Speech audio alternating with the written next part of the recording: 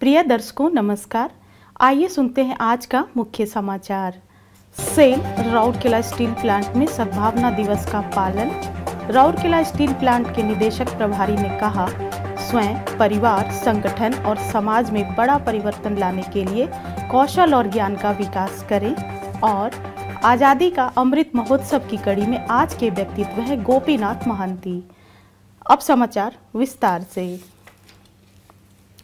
SAIL Rourkela steel plant RSP ने पूरे देश के साथ मिलकर 20 अगस्त को सद्भावना दिवस का पालन किया।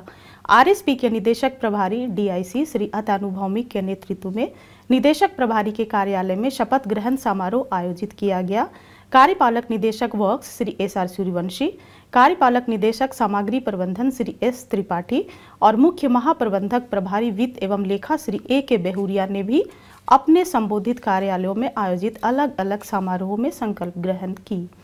इसी प्रकार के समारोह विभिन्न कार्यालयों में भी आयोजित किया गया, जिसमें अधिकारियों और विभिन्न वर्गों के कर्मचारियों ने सद्भावना दिवस संकल्प ग्रहण किया।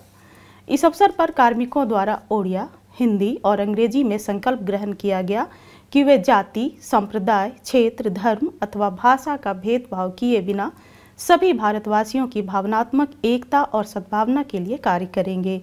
उन्होंने यह भी प्रतिज्ञा की कि वे हिंसा का सहारा लिए बिना सभी प्रकार के मतभेद, बातचीत और संवैधानिक माध्यमों से सुलझाएँगे। उल्लेखनीय है कि 20 अगस्त को भारत के पूर्व प्रधानमंत्री स्वर्गीय राजीव गांधी की जयंती है।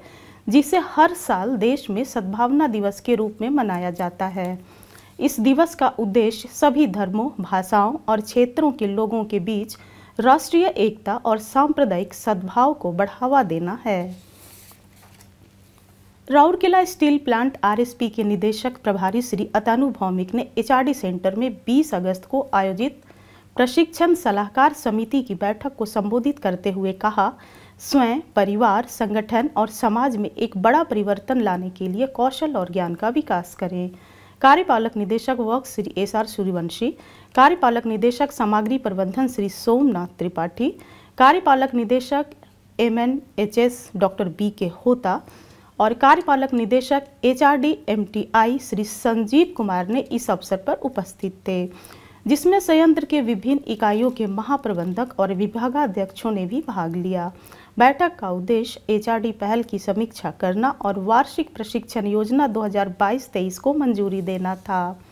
निदेशक प्रभारी ने विचार विमर्श में गहरी दिलचस्पी ली और शिक्षण एवं विकास प्रक्रिया को अधिक प्रभावी और परिणामों उन्मुखी बनाने के लिए विशिष्ट सुझाव दिए। निदेशक प्रभारी ने कर्मी समूह से स्वयं, परिवार, संगठन और समाज में एक बड़ा परिवर्तन लाने के लिए कौशल और ज्ञान विकसित करने का आग्रह किया। अपने संबोधन में श्री संजीव कुमार ने आरएसपी में की जा रही विभिन्न मानव संसाधन पहलों की प्रशंसा की और डिजिटल परिवर्तन और उद्योग चार दशमलव शून्य के बारे में अधिकारियों के ज्ञान और कौशल को बढ़ावा देने के लिए शुरू की गई नई पहल एमटीआई आपके द्वारा के बारे में बताया। पिछले वित्त वर्ष में एचआरडी की उपलब्धियों के साथ साथ चालू वर्ष की योजनाओं पर मुख्य महाप्रबंधक एचआरडी सुश्री राजश्री बनर्जी द्वारा एक प्रस्तुतिकरण किया गया। इस दौरान प्रदर्शन, दक्षताओं, शिक्षण और अनुप्रयोगों से संबंधित मुद्दों पर भी विस्तार से चर्चा की गई।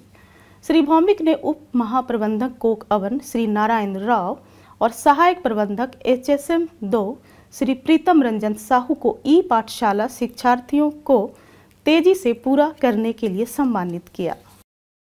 राष्ट्रगान के गायन के साथ कार्यवाही शुरू हुई। सुश्री राजश्री बनर्जी ने सभा का स्वागत किया, जबकि सहायक महाप्रबंधक एचआरडी श्री के के जायसवाल ने औपचारिक धन्यवाद ज्ञापित किया।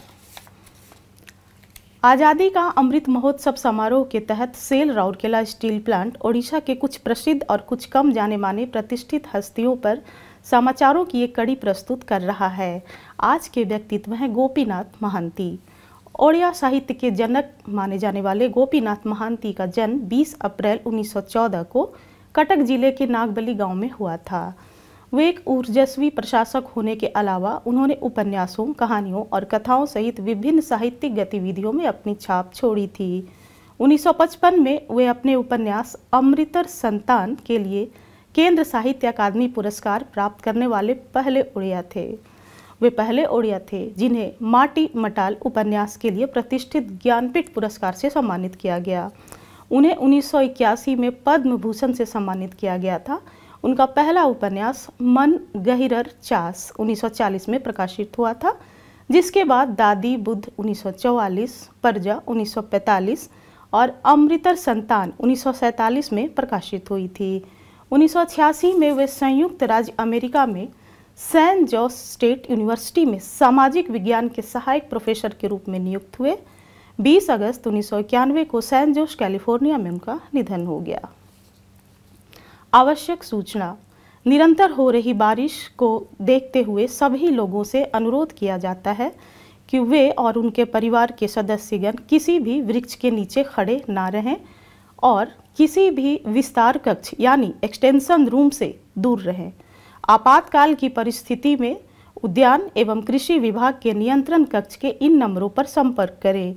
आठ आठ नौ पाँच पाँच शून्य एक एक पाँच शून्य और इंटरकॉम नंबर है तीन नौ पाँच छ तीन। इसके साथ ही आज के हिंदी समाचार यहीं समाप्त होते हैं। नमस्कार।